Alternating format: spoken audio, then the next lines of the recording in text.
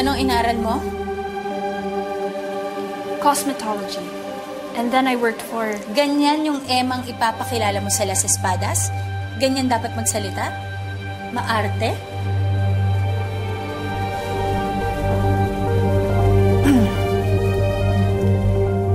Tapos, nagtrabaho po ako sa Cheska Salon sa Quiapo.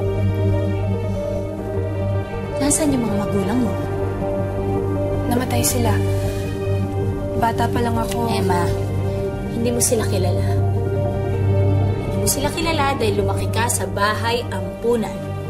Again, nasa na mga magulang mo? Hindi ko alam kung sino sila. Lumaki ako sa bahay ampunan.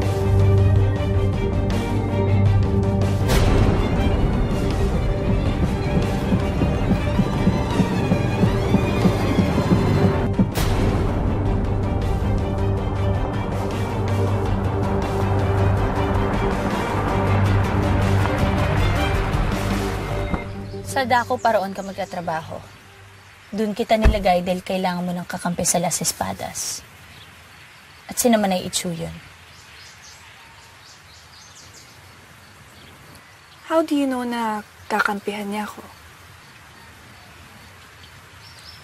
Alam ko. Dahil ang talikuran ako ng lahat, wala akong ibang natitirang kakampi kundi si Manay Ichu. At alam kong proprotektahan ka rin niya. Pero tandaan mo, Emma, wala kang pagkakatiwalaan sa Las Espadas. Kahit si Manay Ichu? Kahit sino pa yan. Kahit na yung mga taong walang ibang papakita sa'yo kundi kabutihan. Magiging malapit ka sa kanila pero hinding-hindi mo sila kaibigan. Kung alam ko lang yan, Mon. Sana hindi ako naging biktima ng kahit na sino.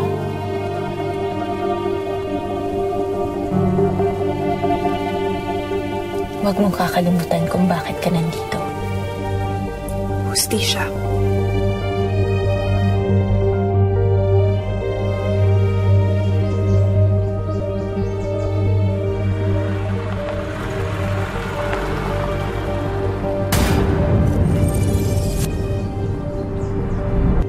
Manong, sa plaza po ng Las Espadas. Sige, kakain. Ipinakilala ko na silang lahat sa'yo. Hi, Manang. Ay, naku, Diyos ko. Ano ka ba naman, bata ka? Ah, taranong ko lang ho sana kung alam niyo kung saan yung tako pa roon.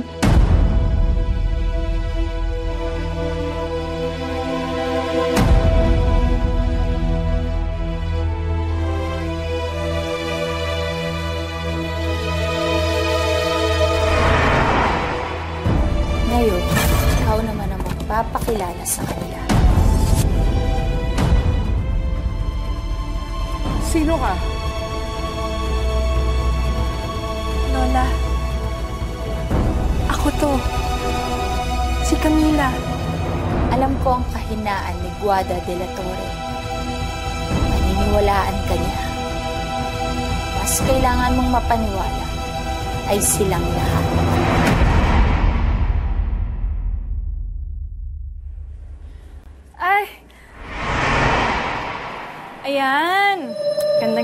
Po ulit, Mrs. Gutierrez.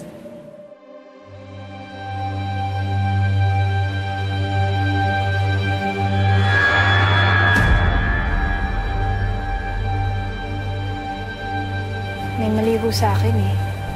Parang may mga naaalala ko na hindi naman nangyari sa akin. Pero pakiramdam ko, memories ko talaga sila. Parang may ibang taong pumasok sa katawan ko. Pinabago yung isip ko. Ano pong gagawin ko?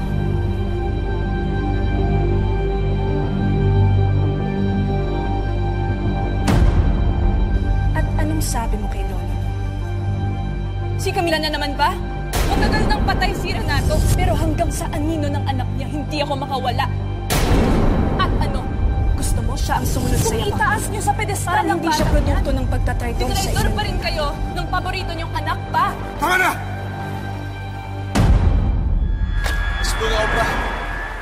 Please, just tell me the truth. Pinapangako ko sa'yo, hindi ka masasaktan. Wala akong nag-utos sa akin. Bakit ka ba apektado? Di ba hinayaan niyo siyang makulong?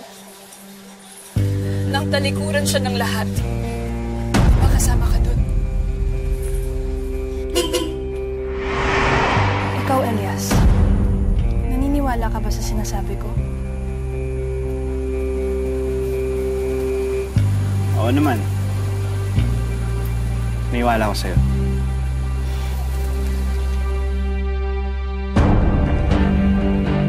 Gusto ko silang natakot. I want them to see you as a threat.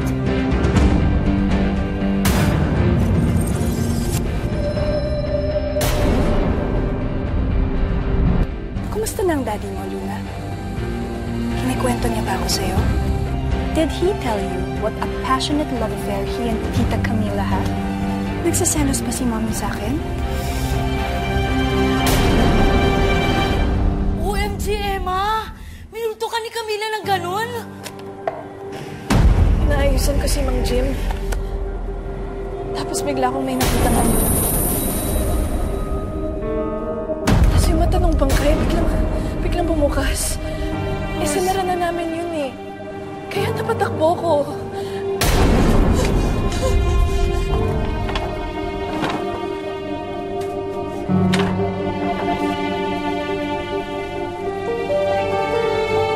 Tapos nakita ko, sinusundan ako nung... Sinusundan ako nung anino. Kaya napatakbo ako dun sa may mga kabao.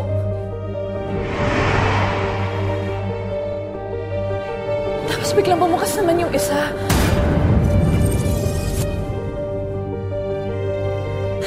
Sobrang takot ko, lumapit ako sa picture ni Camila. Sabi ko sa kanya, tigilan na niya ako nang makaawa ko sa kanya. Pero biglang may narinig akong mga bulong. Parang kinakausap niya ako. Di kaya sa tingin mo nagalit si Camila dahil sabi mo magpo-focus ka na lang sa trabaho. Tapos sinabihan mo pa siya na sarado na yung tindahan mo sa kanya. Gusto kong pag-usapan ka ng lahat. Ang demonyo ay si Emma. Pag hindi natin pinaalis ang spirito sa katawan ni Emma, paluluhain tayong lahat nito. Emma! Saan ka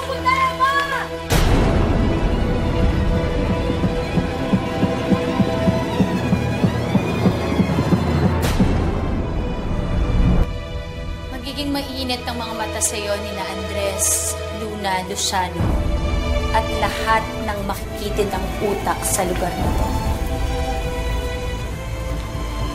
Pero walang ibang paraan, Emma.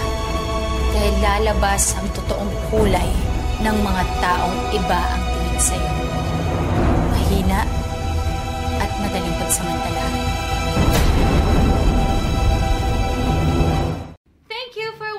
The Killer Bride. For more videos, subscribe to ABS-CBN Entertainment YouTube channel and click the I button.